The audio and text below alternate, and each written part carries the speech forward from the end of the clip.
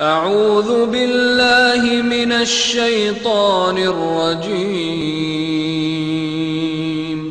بسم الله الرحمن الرحيم.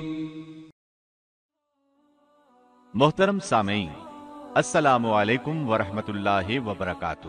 ایک حدیث میں ہے کہ آدم اور شیس علیہ السلام کے بعد ادریس علیہ السلام پہلے نبی ہیں۔ ایک دوسری حدیث میں ہے کہ ادریس علیہ السلام پہلے نبی ہیں، جنہوں نے قلم کے ذریعے لکھا اور لوگوں کو کتابت سکھائی۔ حافظ ابن کثیر نے ان کا حلیہ کچھ یوں بیان کیا ہے۔ پورا قد و قامت خوبصورت خوب رو گھنی داڑھی، عمدہ اوصاف کے مالک۔ چوڑے کندھے، مضبوط ہڈیاں، دبلے پتلے، سرمگی چمکدار آنکھیں، گفتگو باوقار خاموشی پسند، سنجیدہ اور متین، چلتے ہوئے نظر نیچی۔ انتہائی فکر و خوض کے عادی۔ غصے کے وقت سخت غضبناک۔ باتیں کرنے میں شہادت کی انگلی سے بار بار اشارہ کرنے کے عادی۔ ادریس علیہ السلام شیس علیہ السلام کی شریعت پر عمل پیرا رہے۔ چونکہ ادریس علیہ السلام رسول بھی تھے۔ اس لیے اللہ کی طرف سے مستقل ان پر شریعت نازل ہوئی۔ جس کی تشریح و تفسیر کر کے لوگوں کو احکام الہی سے آگاہ فرماتے۔ ادریس علیہ السلام نے جب دیکھا کہ مفسدین ایمان والوں پر ظلم و زیادتی کر رہے ہیں، ان کا فساد بڑھتا جا رہا ہے اور سمجھانے کے باوجود یہ لوگ باز نہیں آ رہے، تو انہوں نے اپنے پیروکاروں کو جہاد کا حکم دیا۔ ادریس علیہ السلام پہلے شخص ہیں جنہوں نے اللہ کے راستے میں جہاد کیا، غنیمتیں حاصل کی اور دشمنوں کو قیدی بنایا۔ لیکن غنیمتیں اور قیدی ان کے لیے حلال نہیں تھے۔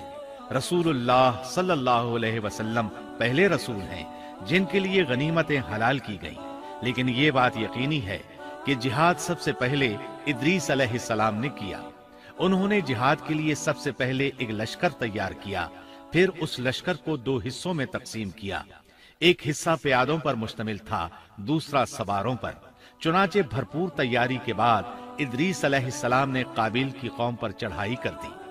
حق و باطل کے درمیان زبردست مارکے ہوئے۔ آخرکار ادریس علیہ السلام نے انہیں گھٹنے ٹیکنے پر مجبور کر دیا۔ ان کا بہت سا مال و اسباب لوٹ لیا اور لوگوں کو قیدی بنا لیا۔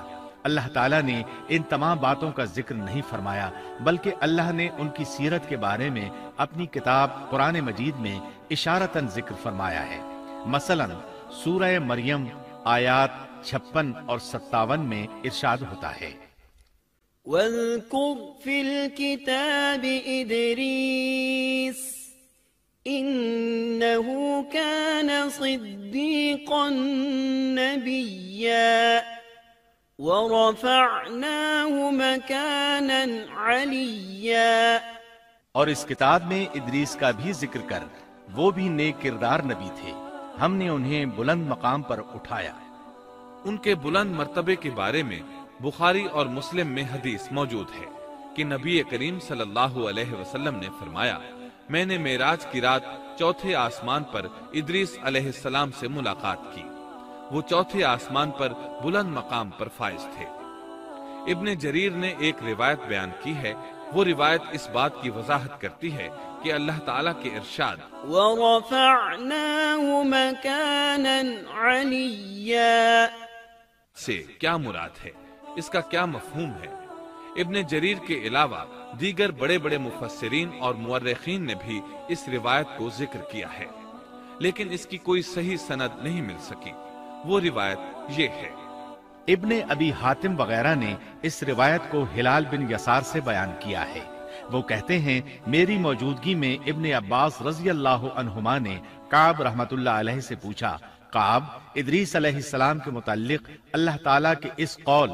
ورفعناه مكانا عليا۔ ہم نے انہیں بلند مقام پر اٹھا لیا۔ کا کیا مطلب ہے؟ تو کعب رحمت اللہ علیہ نے جواب دیا اللہ تعالیٰ نے ادریس علیہ السلام پر ایک مرتبہ یہ وہی نازل فرمائی اے ادریس تمام اہل دنیا جس قدر روزانہ نیک عمل کریں گے ان سب کے برابر میں تجھے ہر دن اجر دوں گا۔ ادریس علیہ السلام نے یہ سنا تو انہیں خواہش محسوس ہوئی کہ میرے اعمال میں روز افسوں اضافہ ہو۔ اس لیے عمر کا حصہ طویل ہو جائے تو اچھا ہے۔ انہوں نے وہی الہی اور اپنے اس خیال کو ایک رفیق فرشتے پر ظاہر کر کے کہا، اس معاملے میں موت کے فرشتے سے گفتگو کرو تاکہ میں نیک اعمال کا زیادہ سے زیادہ وقت حاصل کر سکوں۔ اس فرشتے نے جب یہ سنا تو ادریس علیہ السلام کو اپنے بازوؤں پر بٹھا کر لے اڑا جب یہ چوتھے آسمان سے گزر رہے تھے تو موت کا فرشتہ زمین پر آنے کے لیے اتر رہا تھا۔ وہیں دونوں کی ملاقات ہو گئی۔ دوست فرشتے نے موت کے فرشتے سے ادریس علیہ السلام کے بارے میں گفتگو کی۔ موت کے فرشتے نے دریافت کیا، ادریس علیہ السلام کہاں ہیں؟ اس نے کہا، میری پشت پر۔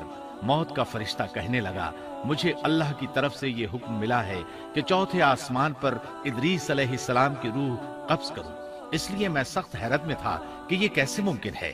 ادریس علیہ السلام تو زمین پر ہیں، چنانچہ موت کا فرشتہ ادریس علیہ السلام کے پاس آیا، ان سے اجازت طلب کی اور ان کی روح قبض کر لی۔ انبیاء کو یہ امتیاز حاصل ہے کہ فرشتہ ان کی اجازت کے بغیر ان کی روح قبض نہیں کر سکتا۔ اور رسول اللہ صلی اللہ علیہ وسلم کو تو یہ اختیار دیا گیا کہ آپ دنیا میں مزید رہنا پسند کریں تو رہ سکتے ہیں، یا پھر رفیق اعلیٰ کی رفاقت کو پسند کر لیں۔ آپ نے رفیق اعلیٰ کی رفاقت کو پسند فرمایا۔ اس طرح ادریس علیہ السلام کی روح چوتھے آسمان پر قبض کی گئی۔ انہیں بھی عیسیٰ علیہ السلام کی طرح آسمان پر اٹھایا گیا۔ فرق یہ ہے کہ عیسیٰ علیہ السلام کی روح قبض نہیں کی گئی۔ یہ واقعہ نقل کر کے کعب رحمت اللہ علیہ فرماتے ہیں کہ اللہ تعالیٰ کے ارشاد ورفعناه مكانا عليا کی تفسیر یہی ہے۔ لیکن درست بات یہ ہے کہ یہ اسرائیلی روایت ہے۔ ادریس علیہ السلام کی وفات ہو گئی تو لوگ فساد میں اور بڑھ گئے۔ ان میں شر پھیل گیا۔ تاہم وہ توحید پر قائم رہے۔ بت پرستی کا ان میں کوئی شعور نہیں تھا۔ لوگ آدم علیہ السلام کی وفات کے ہزار سال بعد تک توحید پر قائم رہے۔ ان میں فسق و فجور ضرور تھا لیکن شرک نہیں تھا۔ اللہ تعالیٰ کے اس ارشاد كان الناس أمة واحدة۔ دراصل لوگ ایک ہی امت تھے۔ کا یہی مطلب ہے۔